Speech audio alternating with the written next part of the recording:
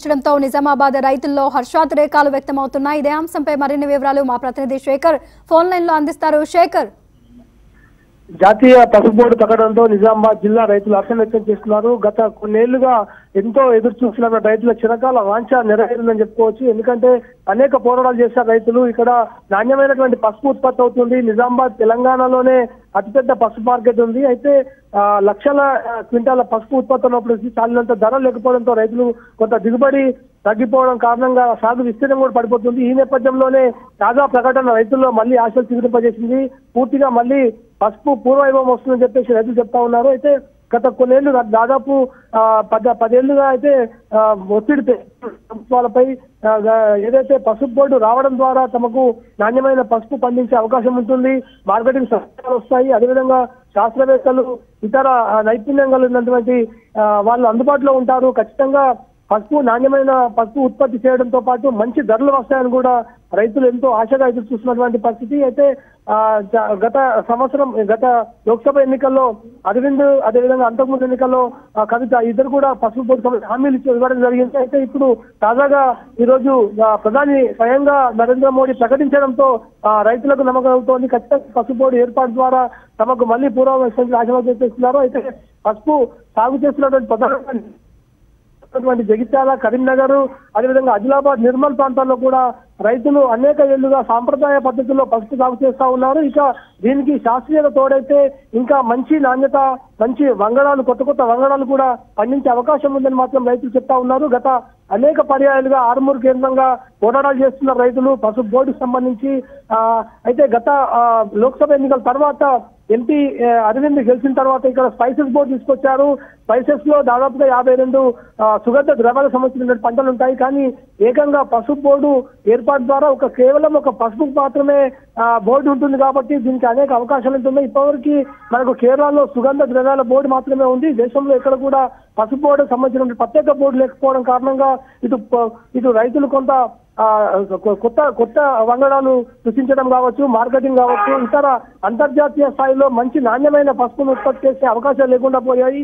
కానీ తాజాగా ప్రకటనతో పసుపు బోర్డు ఏర్పాటైతే పసుపులో కర్కమన్ శాతం పెంచే విధంగా ఎక్స్పోర్ట్ పాలిటీ పెంచే విధంగా కూడా ఉపయోగపడుతుంది. ఇక రైతులకు మళ్ళీ పూర్వం వస్తుంది గతంలో తులం ఒక ఎకరం ఒక క్వింటాలు పసుపు మార్కెట్లో విక్రయించి తులం బంగారం కొన్నటువంటి పరిస్థితులు కూడా జిల్లాలో ఉండేవి. కానీ రాను రాను కొంత అంతర్జాతీయ మార్కెట్లో ఉన్నటువంటి పరిస్థితులు కావచ్చు స్థానికంగా ప్రతికూల పరిస్థితులు కావచ్చు వాతావరణంలో మార్పులు కావచ్చు పంట దిగుబడి తగ్గడము ధరలు లేకపోవడము అదేవిధంగా నాణ్యమైనటువంటి పంట ఉత్పత్తి కాకపోవడం వల్ల రైతులు చాలా మంది పంట మార్పిడులకు ఆసక్తి చూపారు. అయితే ఇప్పుడు తాజా ప్రకటనతో మళ్ళీ ఈ ఏరియాలో పూర్తిగా పసుపు పంట పెరిగే అవకాశం ఉందని మాత్రం ఎదురు చెప్తా ఉన్నారు చాలా చిరకాల వాంఛ నెరవేర్చినటువంటి ప్రధాని నరేంద్ర మోడీకి చాలా మంది కృతజ్ఞతలు చెప్తా ఉన్నారు. హర్షాలు వ్యక్తమవుతున్నాయి మరోవైపు భాజపా శ్రేణులు కూడా ఆ, సంబరాలకు సిద్ధమవుతున్నటువంటి పరిస్థితి జిల్లాలో ఎస్ శేఖర్ అయితే ఇది నిజంగా నిజామాబాద్ రైతుల కళ వారి విజయమే అనుకోవాలి. ఎందుకంటే వారు పసుపు బోర్డు కోసం గతంలో ఎన్ని పోరాటాలు చేశారో ఎన్ని నిరసనలు వ్యక్తం చేశారో మనం చూసాం.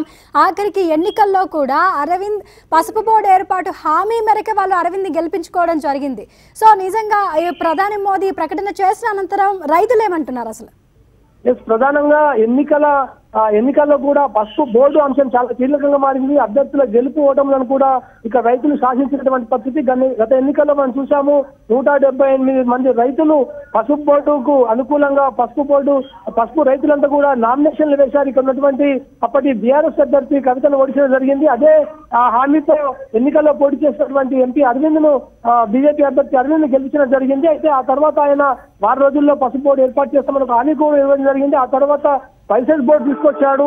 ఆ స్పైసెస్ బోర్డు ద్వారా ఇక రీజనల్ ఆఫీస్ కూడా ఏర్పాటైంది.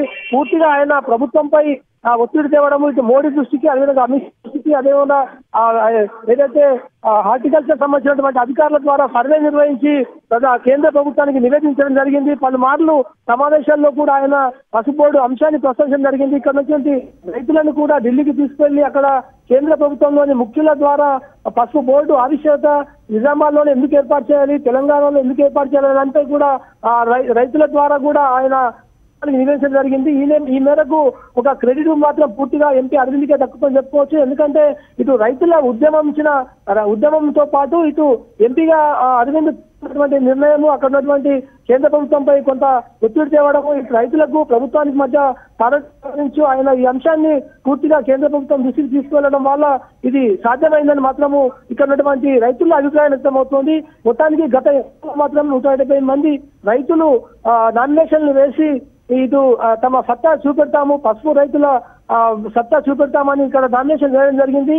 ఆ పూర్తిగా ప్రభుత్వం దృష్టికి రైతుల సమస్యలను కూడా తీసుకోవడం జరిగింది. మొత్తానికి పసుపు బోర్డు ఏర్పాటు కారణంగా ఇటు చాలా ఆ, మన కూడా రైతులు కొంత ఆనందోత్సవాలు మాత్రం వ్యక్తమవుతున్నటువంటి పరిస్థితి జిల్లాలో రైట్ థ్యాంక్ యూ శేఖర్